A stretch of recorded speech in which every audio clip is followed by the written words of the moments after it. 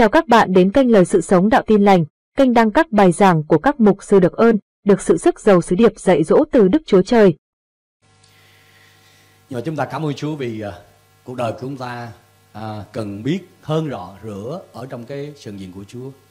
Trong một tuần vừa rồi thì có hai hai cái lễ mà dường như là ở Việt Nam của chúng ta chúng ta ít biết nhưng mà ở tại nước Mỹ á, thì người ta thường thường tổ chức đó là cái lễ tạ ơn à, lễ tạ ơn và ngoài ra, thêm một cái lễ mà người ta tận dụng cái thời gian đó là Black Friday.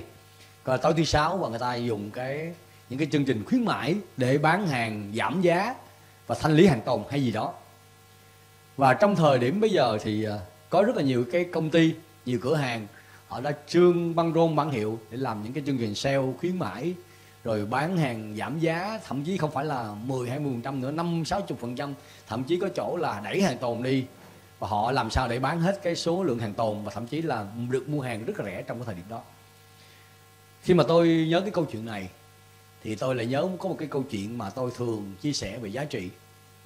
À, dẫu rằng buổi sáng nay tôi không chia sẻ về chủ đề giá trị nhưng mà tôi chia sẻ về đứng Messi có là Chúa Giêsu chúng tôi là ai.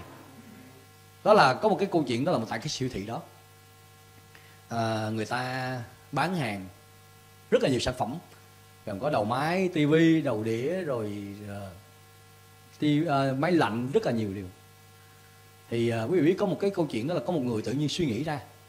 Đó là tại sao mình không tận dụng cái cơ hội này để mình vào những cái siêu thị đó để mình mình làm một kỳ đó để mình trở nên giàu có. Quý vị biết họ đã làm gì đi. Đó là cái người thanh niên này đã ở trong đó và đến cái siêu thị đó nhiều lần. Và anh ta nghiên cứu ra một cái phương pháp đó là anh thấy thường thường ở trong cái sản phẩm á, nó đều có một cái gọi là barcode hoặc là một số cái giá biểu ở trên sản phẩm đó. Quý vị biết, anh đã lấy điện thoại chụp hình tất cả những cái mã hàng của anh, đó. Và anh quyết định đem về nhà, và anh in ra những cái mã đó. Và thay vì ví dụ như một cái tivi trị giá khoảng, tôi tôi sẽ dùng đơn vị là tiền việt việt nam cho mình dễ hiểu. Đó là ảnh, cái tivi đó khoảng 15 triệu. Thì ảnh dùng một cái mã code của một sản phẩm khác trị giá khoảng 3 triệu 3 triệu. Và anh dùng cái barcode đó anh dán chồng lên cái mã code mà đang bán. À, nó không phải là một sản phẩm mà rất là nhiều sản phẩm. Sau đó anh mới kêu gọi tất cả những người thân với trong gia đình của mình. Đó là tới ngày đó hãy tranh thủ hãy tranh thủ vào trong cái shop đó siêu thị đó để mình mua những sản phẩm cực kỳ rẻ. Và quý vị biết điều, điều gì đã xảy ra?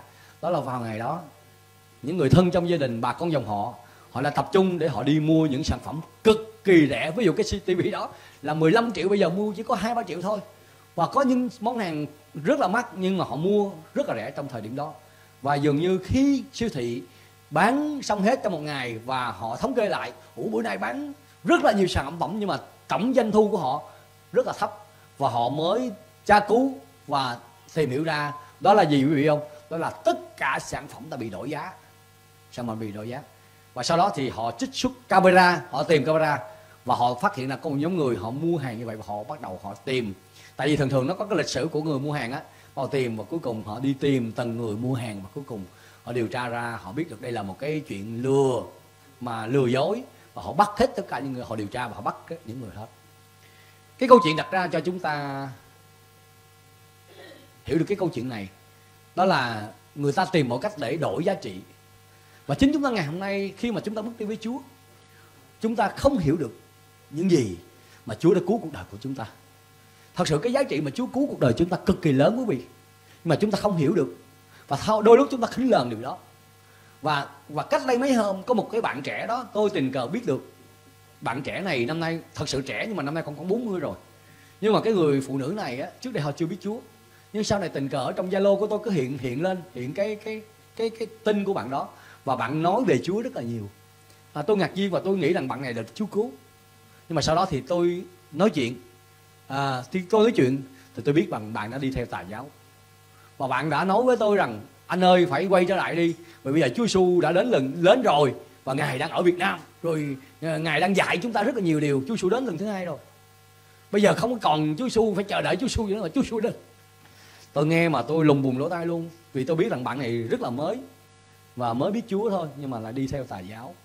Rồi uh, và tôi lại biết rất là nhiều người yêu mến Chúa. Nhưng mà bây giờ họ không còn giữ đức tin theo cái cách mà hồi xưa họ tin nữa. Nhưng bây giờ họ lại có những cái tính lý mới họ cái quan điểm mới. Và họ nói rằng Chúa Giêsu không phải là Đức Chúa Trời. Chúa Giêsu chỉ là Đức Chúa Con thôi. Ở trong ngôi thứ hai trong thật sự không phải là ngôi hai nữa nhưng mà chỉ là Đức Chúa Trời con thôi. Và không phải là Đức Chúa Trời. À, chúng ta sẽ có rất là nhiều nếu nhiều cái vấn đề xảy ra với hội thánh của Chúa nếu mà chúng ta đi với Chúa và chúng ta không biết lẽ thật. Và và cảm ơn Chúa cho đến ngày hôm nay hôm nay là ngày 27 tháng 11 rất là nhiều hội thánh trên thế giới họ đang kỷ niệm về cái lễ tạ ơn. Và chúng ta chỉ còn vài hôm nữa là chúng ta sẽ bước vào một cái mùa, đó là mùa Giáng sinh. Tại sao tôi gọi được là mùa? Đó là một cái người ta thường tổ chức cả một mùa chứ không phải là một ngày 24 hay 25 nhưng mà tôi muốn nói lên một điều này và tôi sẽ cố gắng làm sao để từ đây tới ngày Giáng sinh sẽ có mỗi tuần tôi sẽ chia sẻ về Chúa Giêsu là ai tại vì chúng ta đi với Chúa mà chúng ta không biết Chúa Giêsu là ai. Đây là điều rất là kinh khiếp. Và cảm ơn Chúa khi chúng ta đọc lời của Chúa và suy cảm lời của Chúa hơn nữa thì chúng ta thấy rằng Chúa Giêsu thật là vĩ đại. Và Chúa Giêsu là đứng như thế nào trong cuộc đời của chúng ta. Và khi chúng ta hiểu rõ về Chúa đó, chúng ta không đánh đổi cái giá trị của chúng ta ngày hôm nay để chúng ta nhận lấy những cái gì mà ở trần gian này họ đem lại cho chúng ta. Và cảm ơn Chúa buổi sáng nay chúng ta sẽ coi lời của Chúa ở trong Esai Esai đoạn 9 từ câu 5 tới câu 6 Trân trọng cái màu thánh đứng lên. Chúng ta sẽ chậm rãi đọc lời của Chúa trong Esai đoạn 9 từ câu 5 tới câu 6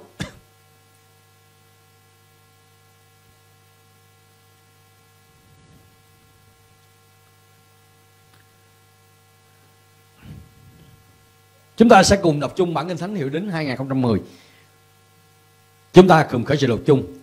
Vì một con trẻ được sinh ra cho chúng ta, Tức là một con trai được ban cho chúng ta, Quyền cái trị sẽ đặt trên vai Ngài.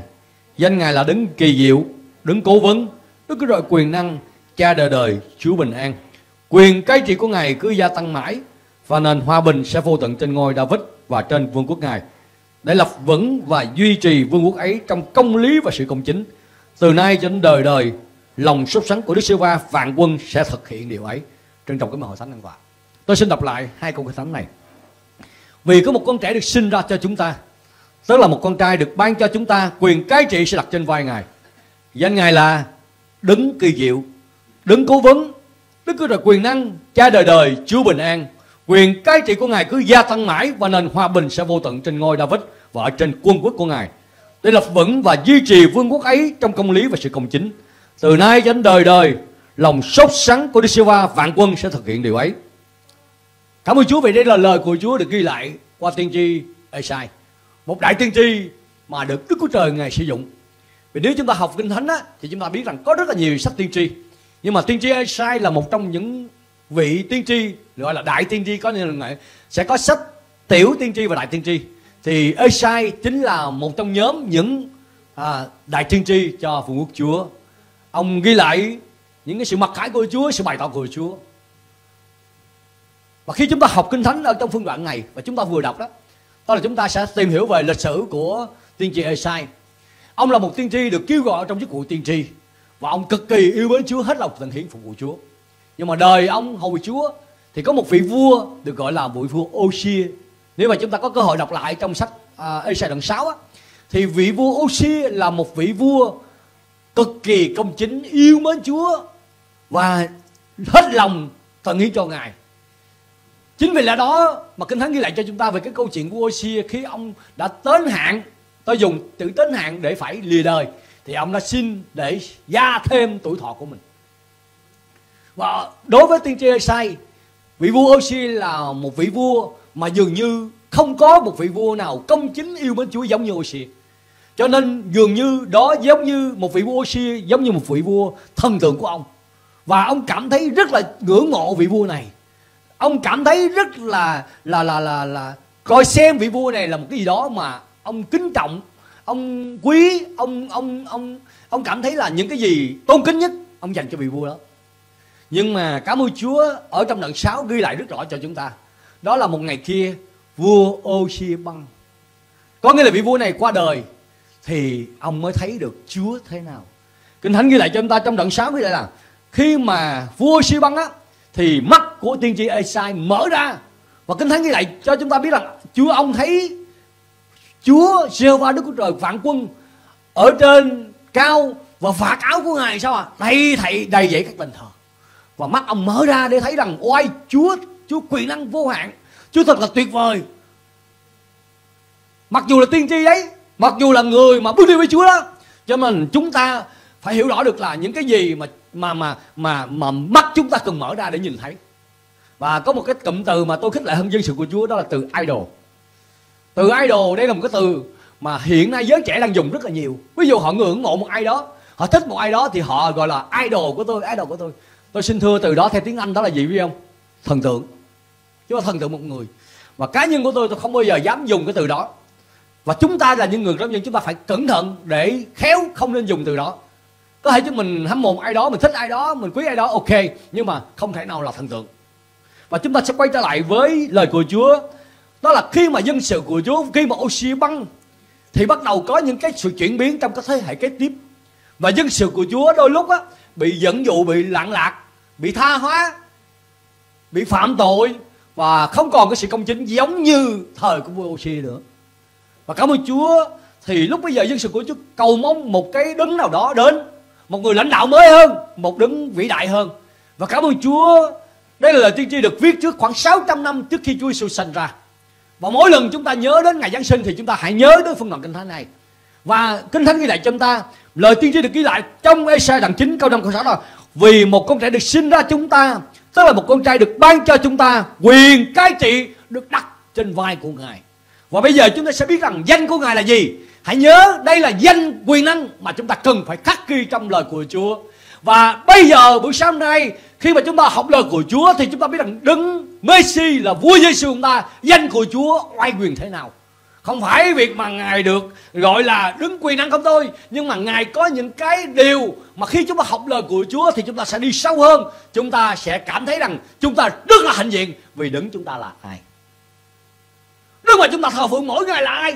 Thật là hạnh diện quý vị bây giờ chúng ta sẽ đi vào chi tiết năm điều. Nếu mà chúng ta có viết, chúng ta có giấy, chúng ta có điện thoại, chúng ta sẽ nốt nốt những điều này. Thứ nhất, danh của chúa đó là đứng kỳ diệu.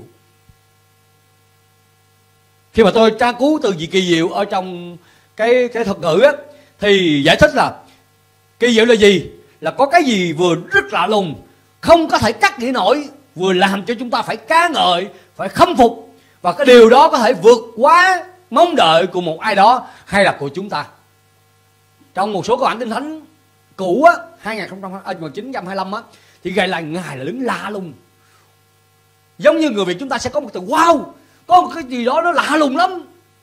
Cái đấng mà được sinh ra để cứu chuộc đời của chúng ta cực kỳ lạ lùng và làm vượt quá mọi điều suy nghĩ, làm vượt quá mọi điều suy tưởng. Vậy đấng nó lạ lùng thế nào? Khi chúng ta đi vào chi tiết thì chúng ta biết rằng một trong những yếu tố đầu tiên mà kinh thánh ghi lại chúng ta đứng đó lạ lùng ở chỗ là không giống như phương cách con người bình thường. Có người, chúng ta được ở tại đây và tất cả mọi người nhóm tại đây được sinh bởi người nam và người tác hợp. Và như kinh thánh ghi lại cho chúng ta biết đó là phải có sự kết hợp người nam nữ mới sinh ra chúng ta. Nhưng mà đứng lạ lùng ngày được sinh ra một cách từ khi sinh ra đã là lạ lùng rồi. Lạ lùng ở chỗ đó là gì? Ngài không phải sanh bởi khi và tình dục. Có đúng không quý vị có nghĩa là khi Mary sinh ra ngài, thì mà Mary không hề ăn ở với bất cứ một người nam nào cả. Và ngài được thay dựng với đức thánh linh, và ngài bắt đầu được sinh ra. Dường như khoa học không thể chứng minh điều này. Dường như có người không thể chứng minh điều này vì họ nghĩ điều đó là điều không thể. Nhưng đứng mà chúng ta đang thượng là như vậy đấy. Đừng mà chúng ta đang mỗi ngày thờ phượng và ca ngợi Chúa, Và mỗi tuần Chủ nhật chúng ta đến cùng nhóm lại với nhau và ca ngợi Chúa. Đứng đó là đứng lạ lùng. Và rất là nhiều, Rất là nhiều điều Mà không kể hết được về đứng lạ lùng chúng ta thế nào. Đứng đó từ kẻ chết Và ngày, ba ngày sau ngày sống lại. Không có một giáo chủ nào trên thế gian này Khi mà chết có thể sống lại sau ba ngày. Đứng đó có thể đặt tay trên người điếc Và người điếc được nghe. Người mù được sáng mắt Và thậm chí người chết được sống lại đứng đó là đứng lạ lùng như vậy đó quý vị. Thế nhưng ngày hôm nay chúng ta bước đi với chúa, chúng ta không hiểu rõ được đứng mà chúng ta thờ phượng đứng messi đó là ai. Và mỗi kỳ Giáng sinh không phải là một cái việc mà chúng ta ca hát, ca ngợi vui chơi không thôi. Hay là chào đón một cái ông gì đó, râu, thật là dài tóc, thật là bạc, và mặc đồ thật là đỏ, và đeo thêm một cái túi kẹo để tặng quà cho mọi người không thôi. Nhưng mà đứng được tôn vinh trong mùa Giáng sinh này, đó là đứng Giêsu đứng lạ lùng. Amen và cái câu hỏi đặt ra cho chúng ta ngày hôm nay đó là gì? Đứng mà chúng ta là thờ phượng một đứng lạ lùng đó. Ngài có quyền trên mọi sự và ngài lạ lùng như vậy thì dạy cho chúng ta điều gì ngày hôm nay khi chúng ta bước đi với Chúa? Đừng có thể làm mọi điều, đừng có thể làm diêu kỳ. Có một cái từ ngữ Việt Nam mà ngày hôm nay đối với một số các bạn trẻ thường dùng cái từ là thật là phi diệu tôi không biết là trong một số chương trình, gọi là, ở talk show hoặc là chương trình giải trí gì đó, họ là thật là vi diệu. Có nghĩa là những cái gì đó vượt quá cái cái cái, gọi là, cái sự suy nghĩ con người mình. Và quý vị ơi, hãy nhớ và hãy nói với lòng của mình ngày hôm nay rằng, Chúa, chúng ta là phò phượng. Đó là đứng lạ lùng và thật là diệu kỳ trong cuộc đời của chúng ta. Ngài sẽ làm những cái gì lạ lùng hơn cuộc đời của mình. Tôi nhớ những ngày mà tôi mới biết gì với Chúa. Rất là nhiều cách để tôi cai cờ bạc. Bỏ cờ bạc, không làm được. Ở đây có má tôi biết. Rất là nhiều lần để muốn tôi không chơi cờ bạc nữa. Tôi không làm được, và nhiều lắm như vậy. Nhưng mà chỉ cần một khoảnh khắc, tôi bắt gặp được Chúa, và tôi cầu nguyện Chúa Chúa ơi, xin Chúa thay đổi cuộc đời con quý vị ơi, Chúa đã thay đổi cuộc đời tôi. Chỉ có một buổi trưa đó là khi mà tôi cầu nguyện với Chúa Chúa đã cho tôi ngủ quên và cuối cùng tôi bắt đầu đắc thắng từ vào đấy không thèm chơi cờ bạc nữa. Đứng là lòng của mình là như vậy. Đôi lúc mình không kinh nghiệm Chúa, có thể thay đổi một hoàn cảnh của mình. Và do cái cuộc sống ngày hôm nay quá nhiều áp lực và làm cho mình không còn nhận biết được cái sự lạ lùng của Chúa trên cuộc đời của mình. Kinh Thánh ghi lại cho chúng ta rất rất là nhiều cái câu chuyện. Và chúng ta được thường nghe các mục sư và thậm chí những cái diễn giả đã chia sẻ cho chúng ta về quyền năng lạ lùng của ngài. Khi ngài làm phép lạ và đứng của chúng ta thờ phượng là đứng có thể làm mọi điều.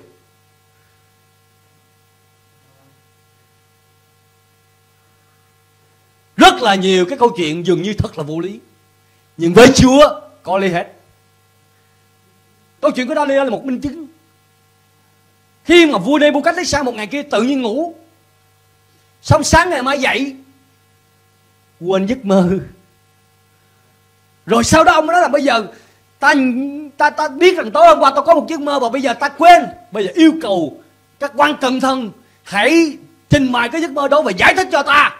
Và các người nếu không giải thích được hoặc không trình bày được, thì chém đầu. Vô lý quá. Nhưng với đức chúa trời ngài làm được hết. Amen không à và daniel đã nhìn thấy được cái khải tượng của vua. Trình bày cho vua. Giống như là những cái chi tiết mà Daniel nhìn thấy ở trong vua Nebuchadnezzar đó, là dường như những cái gì mà ở trong giấc mơ đó, Chúa bày tỏ cho Daniel hết và Daniel nhìn biết điều đó và nói truyền đạt cho vua. Không có bản copy. Thời xưa không có máy vi tính. Hay là không có chuyện mà có thể như thiết bị nằm ở trong cái suy nghĩ của người ta để lưu lại những cái bộ nhớ. Ngày hôm nay với kỹ nghệ ai có thể lưu lại tất cả mọi cái quý vị. Có đúng không ạ? Công nghệ ai có thể lưu lại hết. Họ đọc được tư tưởng với suy nghĩ gì? Họ đưa ra những kết quả cho quý vị. Họ sướng có. Và đứng chúng ta lạ lùng là như vậy. Hallelujah. Vậy hà có gì mà chúng ta không tiếp tục bước đi ở trong đức tin mình thờ phượng Chúa nữa? Khi mà đứng đứng mà lạ lùng của chúng ta ở cùng với chúng ta. Điều thứ hai Đó là gì vị biết không? Đứng gì? Đứng cố vấn. Tiếng Anh gọi là mentor đúng không, đúng không Hả? Đứng cố vấn là gì?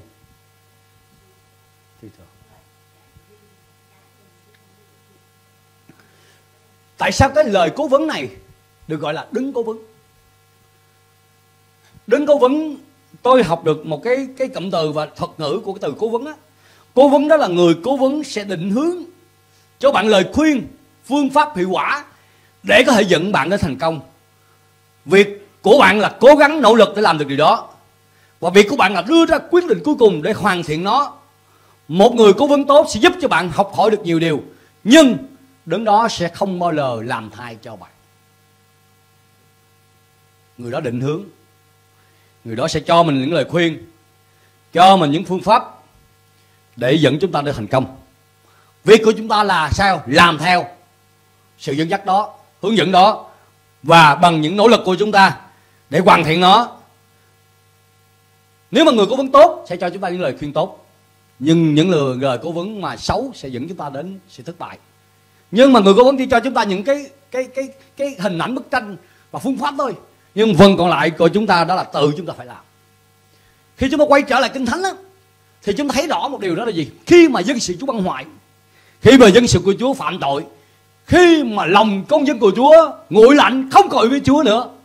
Và lúc bây giờ, quý vị biết rằng dân sự của chúa họ đi chạy theo các thần khác, chạy theo thần tượng và tìm kiếm những cái gì mà trái ngược với kinh thánh. Là dạy của chúa. Lòng của tiên sai thật đau khổ và mong rằng có sự thay đổi cực kỳ lớn lao để làm được điều đó. Và ông đã nhìn thấy.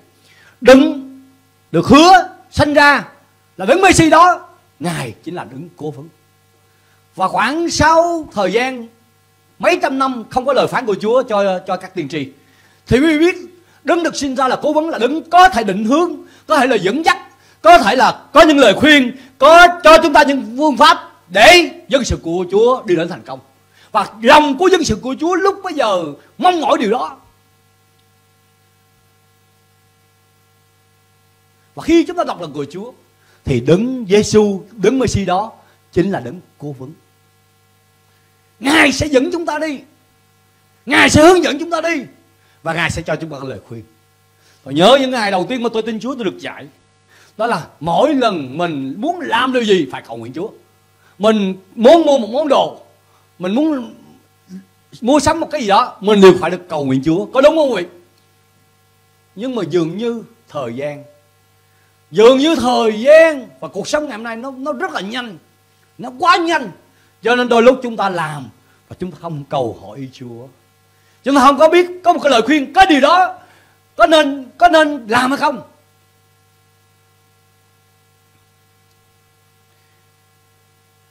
Cảm ơn Chúa trong thời gian vừa qua hội thánh của Chúa cũng cho một bạn trẻ cũng, hai vợ chồng cũng có việc đó là có một cái ước mơ để xin Chúa cho một cái cái căn nhà. Và tôi thấy ở đây thì có một cặp bạn trẻ đó. Nói chung trẻ thì trẻ nhưng mà cũng có hai con rồi.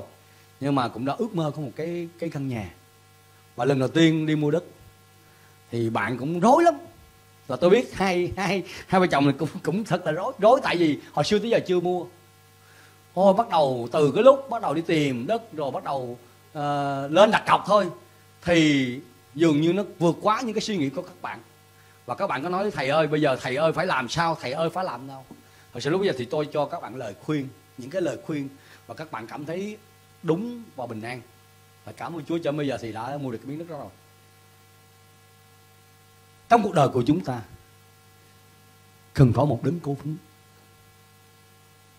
Trong cuộc đời của chúng ta đôi lúc có những cái con đường mà chúng ta không biết phải nên bước tiếp hay là dừng lại hay là tạm dừng lại để mình chờ đợi. Mình cần có một người linh hướng chúng ta, một người cố vấn cho chúng ta, cho mình một cái lời khuyên, cho mình đứt bức tranh cho mình một cái gọi là nhìn thấu hết một cái góc cạnh, rồi từ chúng ta quyết định. Khi mà tôi đi học bên ngoài, tôi học được một điều từ một ông thầy, ông dạy. Hay lắm quý vị ông không phải là người kiến ông bằng tuổi tôi. Tôi dùng cái thời là tại vì ông dạy về môn đó và tôi học môn đó. Ông bằng tuổi tôi luôn. Tóc bạc nhiều lắm, tôi tưởng ông lớn tuổi tôi nhiều mà cuối cùng bằng tuổi tôi.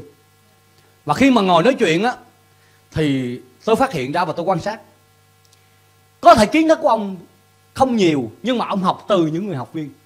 Và ví dụ ông đưa ra một cái gọi là đề án, một cái đề, và các bạn phải giải. Và mỗi người đều có một cái suy nghĩ để giải cái bài đó. Nhưng mà khi hỏi ông ông không bao giờ cho ý kiến ông là phải làm cái gì cả. Nhưng mà ông sẽ tổng hợp tất cả các ý và cho cái người đó lời khuyên phải làm như thế nào khi mà họ nhìn được tất cả góc cạnh của vấn đề. Ngày hôm nay đôi lúc, hầu hết những người cố vấn ở trong hội thánh, những mục sư, thật sự mà tôi thấy rằng ở ở Việt Nam mình còn biết giới hạn cái này nhiều lắm. Đó là dường như mục sư chỉ biết trăng bày thôi còn không có kinh doanh, không có làm ăn bên ngoài, không có được học về tài chính, không có học về kinh tế, không có được học về môn này môn kia, về truyền thông tất cả mọi cái, cho nên bị giới hạn. Và khi mà một ai đó cần lời khuyên, thì dường như không có cái câu trả lời. Nhưng mà khi mà từ qua Dino, một đất nước là Đông Nam Á giống như chúng ta thôi. Nhưng mà tôi thấy là họ được đào tạo làm lớn mục sư á, họ học rất là nhiều về kỹ năng. Tôi chưa nói về cái việc mà sự sức giàu nha, nhưng mà tôi đang nói về cái sự kỹ năng họ nói ngoại ngữ và giao tiếp, thậm chí giảng về ngoại ngữ rất là tốt. Ở đây là ai đã từng qua Ando thì biết. Họ dạy, họ giảng về ngoại ngữ rất là tốt. Họ đánh đàn, keyboard, guitar, thậm chí họ họ chơi nhạc. Dường như là một sư nào, tôi thấy không biết hát thì cũng phải biết đàn. Rồi họ giảng, họ nói giao tiếp, không giảng được thì nói bằng tiếng anh cực kỳ tốt, giao tiếp tốt. Họ có thể giải nghĩa cho một ai đó dạy về kinh tế cho họ tức là sao? Tức là một cái vấn đề dân sự của chúa, gặp vấn đề về tài chính. Một sư đó có thể tư vấn cho cái trường hợp đó. Rồi có những trường hợp về hôn nhân gia đình một sư đó sẽ tư vấn. Và họ được dạy. Nhưng ngày hôm nay, chúng ta thấy ở Việt Nam thôi, mình còn giới hạn rất là nhiều. Và đôi lúc đôi lúc dân sự của Chúa không dám hỏi mục sư. Tại vì cái trường hợp này khó lắm, mục sư này chắc không biết và không tìm được cái câu giải giải giải thích.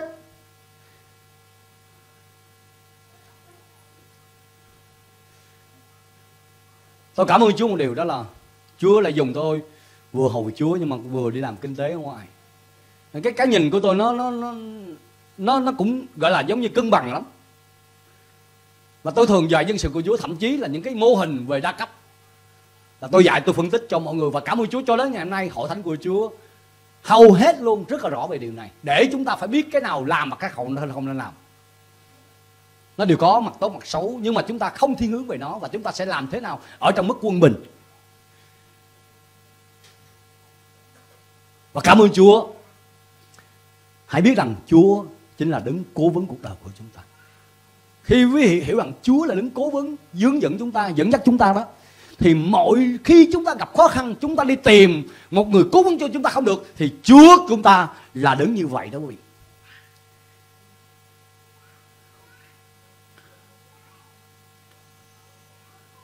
Quý vị biết, người ngoại, người ta không biết thần của họ như thế nào đâu. Cho nên tại sao mà họ thờ rất là nhiều thần? Họ thờ rất là nhiều thần vì họ nghĩ rằng mỗi thần có một cái đặc biệt. Có cái khả năng trong cái khả năng của thần đó. Cho nên họ thờ trước là nhiều thần. Nói về sự thương xót, thì họ sẽ hướng dẫn là người ờ, độ trì đó là phật bào quan âm. Nói về một cái gì đó thì công lý thì họ đi thờ phần quan công, đúng không ạ? Rồi bắt đầu họ làm nghề này, nghề kia, họ đều có những cái vị thần thờ. Nhưng mà cảm ơn Chúa, chúng ta có một Đức của Trời vĩ đại qua Chúa Giêsu của chúng ta ghi đổi chúng ta, đứng mà có thể cố vấn cho chúng ta. Mọi mọi mọi mọi trường hợp trong cuộc đời của chúng ta, từ tình cảm, hôn nhân cho đến tài chính kinh tế, cho đến tất cả mọi việc học hành của chúng ta chúng ta đều cầu nguyện để đứng cố vấn cho chúng ta là ai. Amen. Đứng đúng đó là thờ phượng như vậy đó. Tại sao chúng ta không cầu nguyện, quỳ gối xuống ra, xin ý chúa, mà chúng ta lại đi tìm những cái người bên ngoài cố vấn cho chúng ta? Xin thưa quý vị nha, người bên ngoài không ai hiểu thấu cái nỗi lòng nan đề mà chúng ta gặp phải bằng chính chúng ta hết và chỉ Chúa Giêsu đứng Messi đó đứng có thể dẫn dắt dân sự của Chúa, cho dân sự của Chúa đến một nơi tốt hơn, một hành trình tốt hơn, khi họ biết Chúa Giêsu đứng Messi đó là đứng cố. Amen. Điều thứ ba. Buổi sáng nay nó hơi dài chút xíu nhưng mà chúng ta phải cần có năm điều này khắc ghi trong lòng của chúng ta. Thứ ba, đứng đó chính là Đức của Trời quyền năng. Đứng kỳ diệu, đứng cố vấn, Đức Chúa Trời quyền năng. Hãy nhớ điều này cho quý vị. Đấng Messi, Giêsu là Đức của Trời quyền năng. Quý vị hãy lặp lại tay tôi điều này. Giêsu là Đức của Trời quyền năng. Chúng ta lặp lại. Giêsu là Đức của Trời quyền năng. Chúng ta lặp lại. Giêsu là Đức Chúa Trời quyền năng. Đừng để những tính lý lừa dối chúng ta. Giêsu là con Đức Chúa Trời. Và Giêsu không phải là Đức Chúa Trời. Bây giờ rất là nhiều cái giáo lý, rất là nhiều điều dạy dỗ sai cực về Giêsu và hạ thấp vua Giêsu của chúng ta xuống tại sao ngài phải được gọi là Đức Chúa Trời khi ngài mang sách tình là con người? Vì ngài, trong Philip đoạn 2 ghi rất là rõ, đó là gì? Ngài không xem sự bình đẳng của mình với đức chúa trời là sự nến nắm giữ ngài này. Ngài phải hạ mình xuống, mang hình làm con người để nhìn thấu tất cả mọi điều trong cuộc đời của mình. Và ngài chính là đức chúa trời quyền năng. Giêsu là đức chúa trời quyền năng và khi đã gọi là quyền năng thì có nghĩa là không có việc gì mà ngài không làm được, quý vị. Amen. Đấng mà mình thờ phượng là như vậy đấy. Giêsu mình là đức quyền năng và không có việc gì mà ngài không làm được. Hãy nói hãy nói với người bên phải và nói với người bên trái mình, không việc gì ngài không làm được. Nói thật là lớn tiếng quý vị để xác chứng điều này. Không có việc gì ngài không làm được. Amen. Không có việc gì ngài không làm được. Nhiều khi mình ngồi đó mình nói như vậy đấy. Nhưng mà khi có một năng đề xảy ra, khó khăn xảy ra, thì cái từ đó nó mất tiêu ở đâu đó khó lắm. Không được đâu.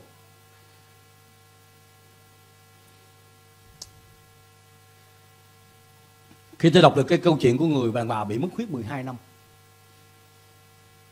người đàn bà này tìm mọi cách để chữa bệnh cho mình bị mất, bị rong huyết, bị mất huyết và dường như khó chịu cái cơ thể vật lý của người phụ nữ không ra huyết. Tôi không biết cái dùng từ đối với phụ nữ như thế nào, nhưng mà bị gọi là bị rong huyết hoặc là bị bị bị bị, nó không trở thành một cái cơ thể bình thường như phụ nữ. 12 năm người phụ nữ này đau đớn và khó chịu bị dằn vặt. Nhưng chỉ cần người phụ nữ này chạy đến Chúa, rờ rờ cái áo của Chúa thôi, lập tức xong được lành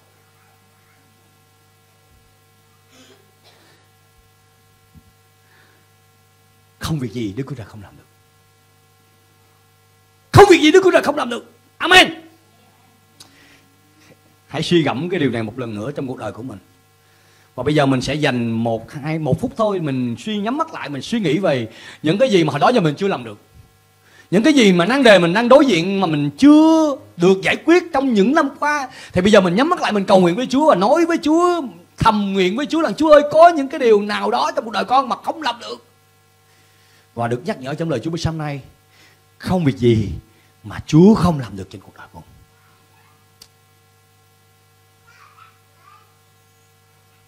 Phải. Giêsu là Đức Chúa quyền năng. Và không việc gì ngài không làm được có thể bị nợ. Nợ nần 3 năm 5 năm 10 năm. Không bao giờ trả hết.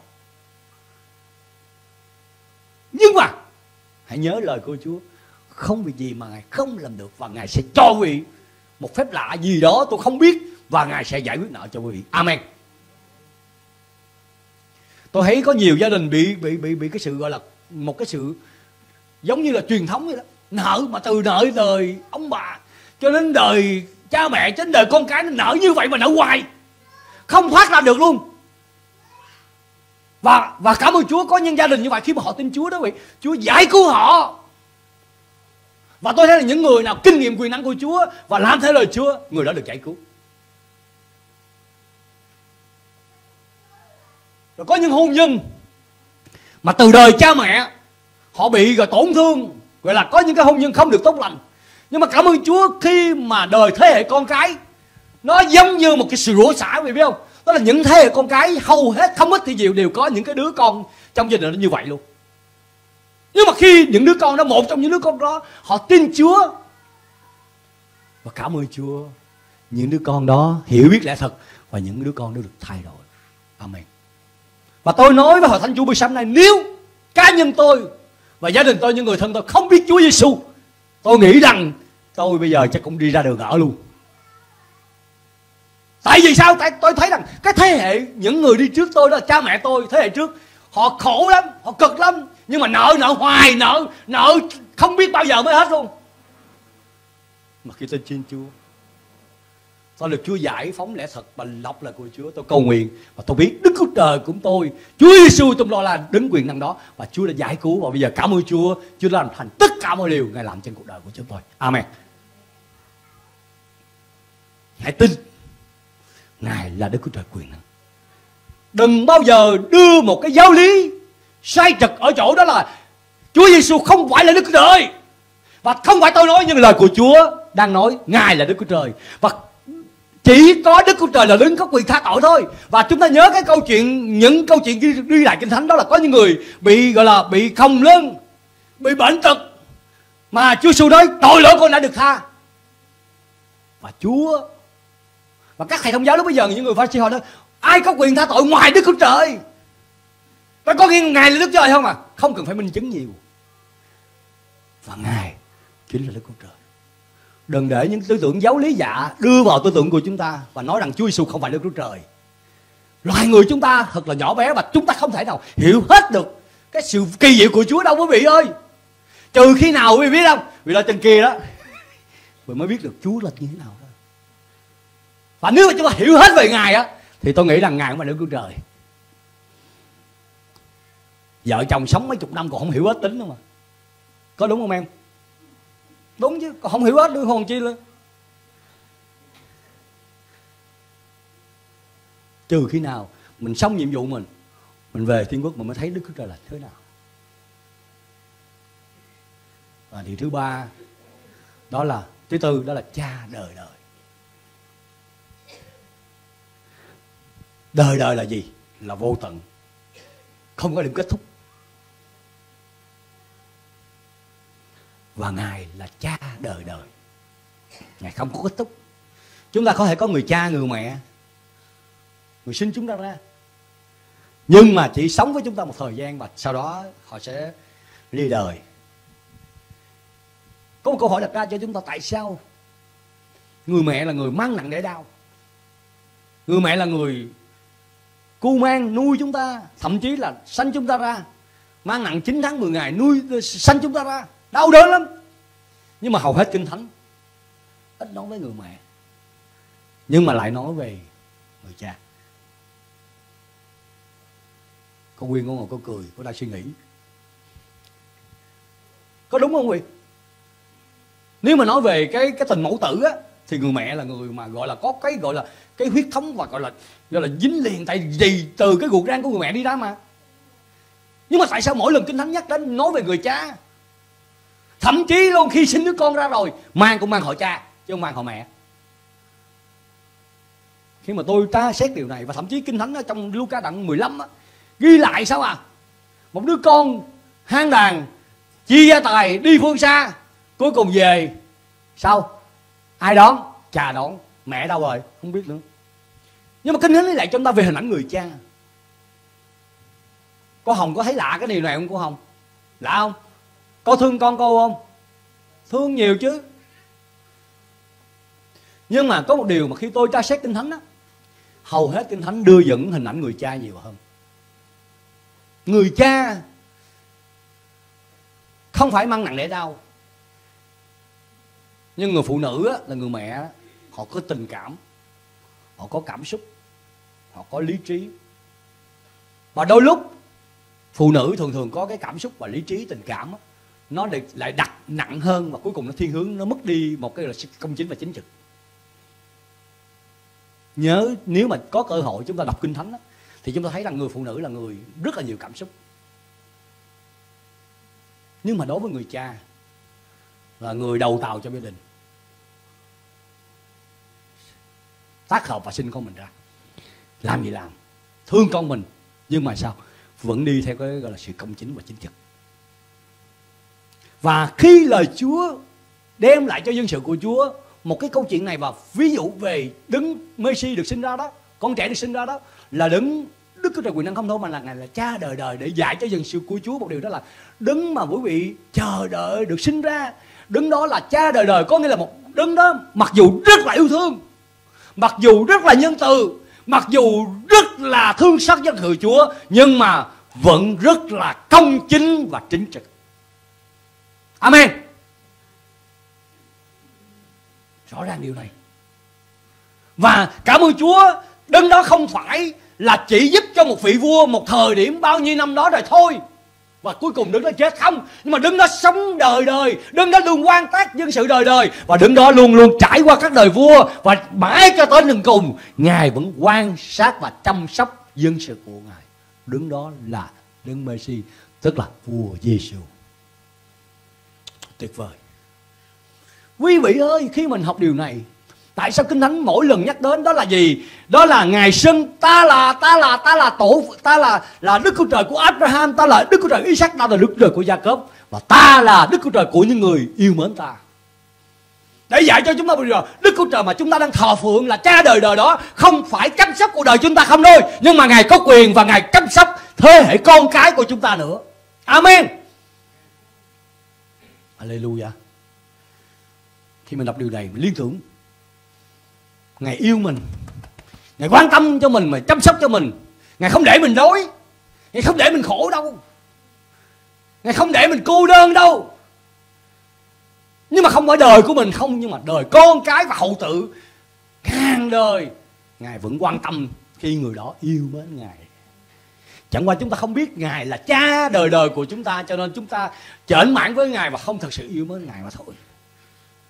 Khi quý vị cô đơn, tìm ai để nói chuyện, tâm sự, ngài chính là cha đời đời để tâm sự với quý vị.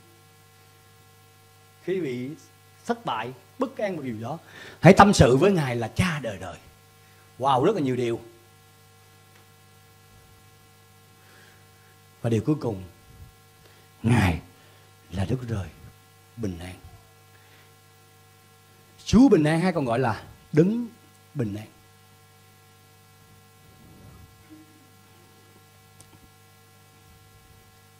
Buổi sáng nay, cái thông điệp cuối cùng mà tôi gọi hợp với chúa đó là đứng ban bình an cho chúng ta. Hãy đến gần với ngài. Ngài sẽ ban bình an cho quý vị. Trong những ngày qua, có nhiều cái khó khăn đang xảy ra cả thế giới.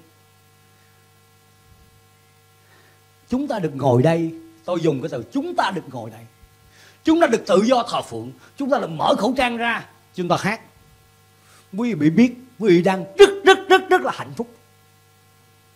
Tôi đang nói tùng, quý vị đang rất là hạnh phúc và tôi cũng rất là hạnh phúc. Quý vị có thể dùng xe gắn máy vì chạy muôn nơi và quý vị đến một quán cà phê, quý vị ngồi và thông công nói chuyện rất là nhiều. Quý vị rất là hạnh phúc. Quý vị biết trên thế giới hiện nay vẫn còn một vài quốc gia, đó là zero covid không được phép ngồi hai, ba người như vậy đâu. Không được phép lấy xe mà chạy vòng vòng vòng vòng đâu. Không được phép vào cái cửa tiệm để mà order cà phê ngồi để tán dốc nói chuyện đâu. Không và không đâu quý vị. Và tất cả bây giờ vẫn còn học online. Nhiều nhà máy đóng cửa. Nhiều phân xưởng đóng cửa. Nhiều gia đình sợ quá.